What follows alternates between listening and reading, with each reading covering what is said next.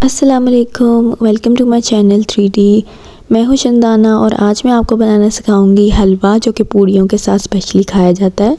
तो चलिए स्टार्ट करते हैं। बिस्मिल्लाहिर्रहमानिर्रहीम।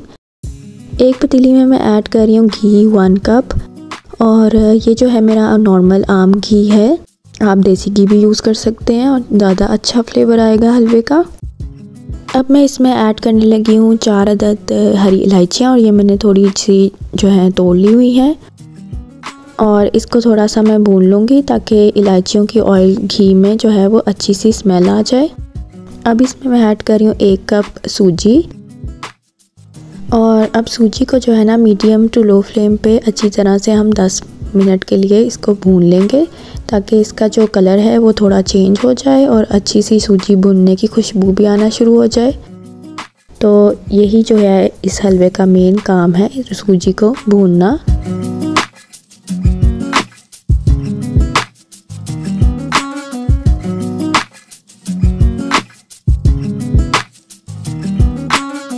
बहुत ही आसान रेसिपी है और पूड़ियों के साथ ये बहुत ही मज़ेदार लगता है हलवा। तो अब हम इसमें ऐड करेंगे एक कप चीनी का। तीनों चीज़ें हमने एक एक कप बराबर की ली हैं, घी भी, सूजी भी और चीनी भी। और साथ ही मैं इसमें शामिल कर दूँगी तीन कप पानी के। अलग से चाशनी बनाने की ज़रूरत नहीं है। इसी में हम ऐड कर देंगे चीनी के साथ तीन कप पानी। एक कप हो गया और ये हो गए हमारे दो कप और ये हो गए हमारे तीन कप। अब इसको हम मिक्स कर लेंगे। पाँच मिनट तक हम इसको मिक्स करते रहेंगे। ये थोड़ा सा थिक होना शुरू हो जाएगा।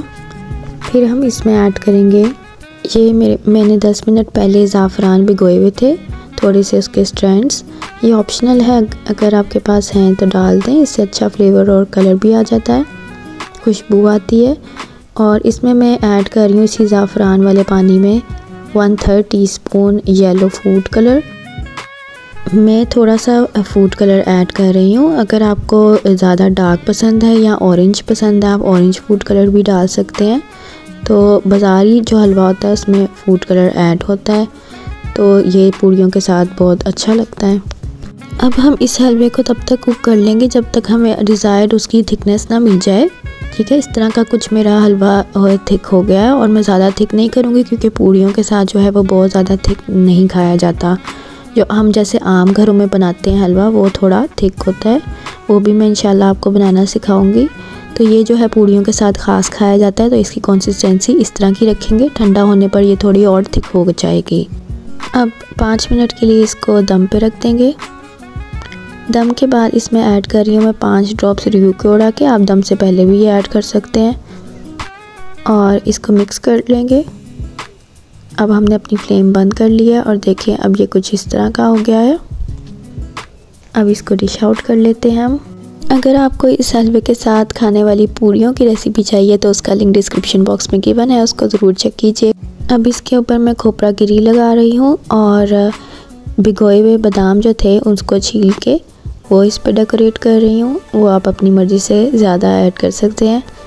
और ये हमारा जो है मज़ेदार हलवा पूड़ियों के साथ स्पेशली खाए जाने वाला बिल्कुल रेडी है। अगली वीडियो में मिलेंगे इन तब तक के लिए अल्लाह हाफिज़।